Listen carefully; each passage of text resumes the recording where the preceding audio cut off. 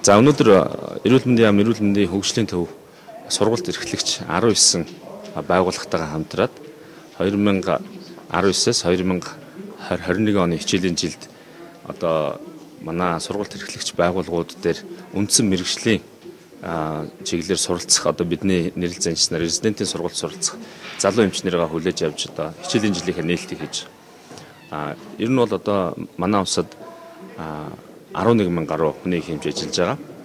А бид бол хүний хэмжнэрийн одоо тасралтгүй сургалтаар бэлтгэх ёстой байгаа. Үүндээ одоо багцлаад хэлэх юм бол төгсөлтийн өмнөх сургалт буюу одоо 12 төрийн болон хувийн хвшлийн нийлсэн 12 ангаахын их баг сургуулиудад бид одоо эмчээ нэгдүгüрт бэлдэж байгаа 6 жилийнхаа хөтөлбөрөөр. А үүний дараа одоо хэдийгээр гадны зарим оронд бол одоо юу гэдэг хэдэн жил ажиллаад юм уу эсвэл одоо төгснөхийн дараа шууд заавал үндсэн мэрэгчлэр нарийсах ёстой гэдэг юм шалгуур тавьдаг. А манай улсын хувьд бол энэ бол одоо тухайн эмчийн залуу эмчийн өөрийнх нь одоо сонголт төлөвлөгөөнд ингэж багтаж явж байгаа. Тэгэхээр энэ резидентийн сургалт буюу төгсөлтийн дараах сургалт их чухал байгаа. Нарийсч одоо яг ямар чиглэлийн эмч болох юм бэ? Одоо хаана ажиллахад ямар ур чадваруудыг эзэмсэж өөрийгөө бэлтгэх ёстой вэ гэдэг энэ одоо маш чухал сургалт байгаа.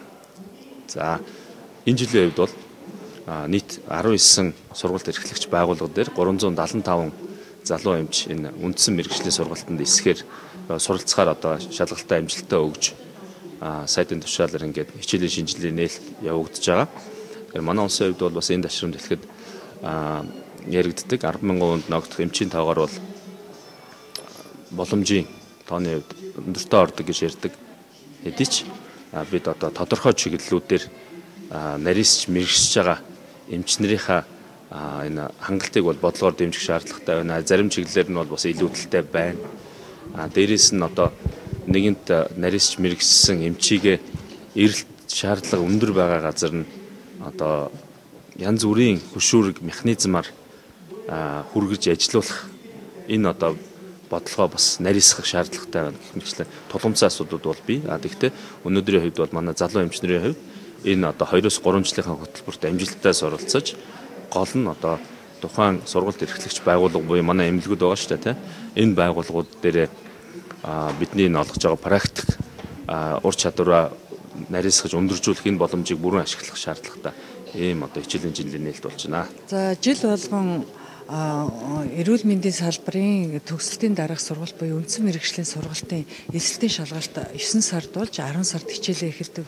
За жил болгоны шалгалт маань өөрөө тухайн жилийн онцлогийг агуулсан юм шалгалт болдог. За энэ жилийн шалгалт маань өөрөө хэд хэдэн онцлогийг дагуулсан байгаа. За үүнд одоо нэгдүгürt бол энэ резидент эмчийн шалгалт өгч байгаа хүмүүсийг урьдчилсан байдлаар онлайн давталгыг бол анх 3 чиглэлээр өгсөн байна. За энэ жил мөн одоо шалгалтын сорилын санг баталгаажуулаад хяналтанд дор лаццсан байдлаар хүргэж ирж хамруулсан байгаа. За шалгалтад мэдээж одоо 80 гаруй хүний бүрэлдэхүүнтэй ажлын хэсэг эрүүл мэндийн сайдаар батлагдсан ажилласан байгаа. За шалгалт маань нийтдээ 7 хоногийн хугацаатай явагдаад өнөөдөр одоо 2019-с 2020 оны хичээлийн шинэ жилийн нээлттэй үйл ажиллагаа явагдаж байна. За энэ үндсэн мэрэгжлийн сургалтын хичээлийн шинэ жилийн нээлт гэдэг маань өөрөө тухайн хүний одоо бакалаврын мэрэгжлийн эзэмшээ цаашдаа одоо жинхэнэ эмнэлзүүдээр гарч жинхэнэ одоо нарийн эмч болох энэ чухал үйл ажиллагаа байдаг аа. Тэгээд энэ жил нийт 2000 гаруй хүүхэд шалгалт өгснөөс 600 орчим хүүхэд элсэлтийн шалгалтанд тэнцэж шигшигдэн одоо өнөөдөр хичээлийнхаа нээлтийг хийсэн ийм үйл ажиллагаа зохион байгуулагдаж байна. За би болохоор эмнэлзэн эмийг судлалын чиглэлээр энэ жил болохоор үндсэн мэрэгжлийн сургалтанд хамрагдаж орж ирсэн байгаа. А тэгээд энэ жилийн шалгалтын хувьд гэх юм бол шалгалтанд эхлээд 800 гаруй хүүхэд орсон. А тэгээд эхний шалгалтаараа тэнцэж бол орж ирсэн байгаа. Тэгээд шалгалтын хувьд болохоор бэлдсэн тестнээсээ тэгээд шалгалтаа өгөөд орж ирсэн байгаа. Эмнэлзэн мэс судлал болохоор 2 жилийн сургалтаа унсан мэрэгжил нь болохоор тий анахаа төгсө 2 жил суралцсан. Аа тэгээд эмч хүн эмч мэрэгжил гэдэг болохоор тасралтгүй суралцж байдаг мэрэгжил. Аа насан туршдаа суралцдаг мэрэгжил. Аа тэгэхээр бол хувьдаа бол баяртай байгаа. Суралцах эрдэм чанарч томилж өөрчлөн ирсэн тав хүний хөтлийн газрын дарга ноён цогтбаатар Эрүүл мэндийн хөгжил төвийн ерөнхий онцгой ард түмний төлөө чиглэлээр одоо нэгэн сэтгэлээр нэг үхрийн үйл даргуул мянган үхрийн үйл даргуул гэдэг ч тийм. А зарим нэг одоо хэвлэл мэдээлэлээр яг зааг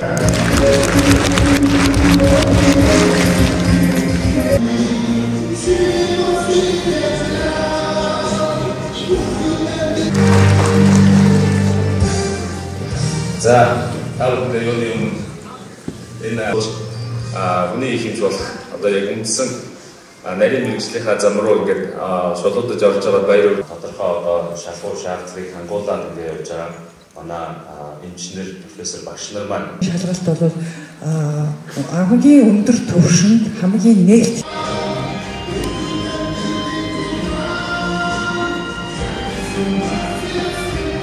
хөгжлөд авдаг. Энэ бол бодиттой байдаг. А зарим тохиолдолд бас хэлж яриулжтай зөвлөвч байдаг. За да. Тэр энэ их холбоотой зөвлөвч гэж байгаа. А бидний зөвлөх гэж байгаа тэгэхээр нөгөө талаас энэ чинь хангах ёстой нэг санаа хэлж байна. Хоёрдугаар а одоо залуу эмчийн хөв өнөөдөр практик одоо эмнэлгүүд иргэд биднээс юу хүсэж байгаа вэ гэдэг сайн бодох хэрэгтэй.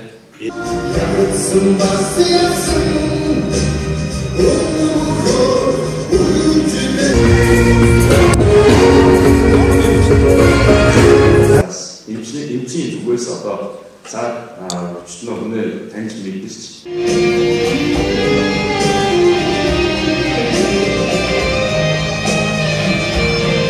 та хүний эмчийнхаа ромбик зүгээ төгсөн гэдэг маань юу? Тэгээд ямар нэгэн одоо процедурын алдаа гаргахгүй талаас бол манай шалгалт одоо авсан. Хүмүүс бол ер нь эсэгчдийн тоог нэмэх төрийн сангийн санамжтай суулж байгаа хүмүүсийн Одоо орж ирсэн эмчнараас асуудаг л да. Ана ягаад эмчийн мэрэгч сонгосон юм?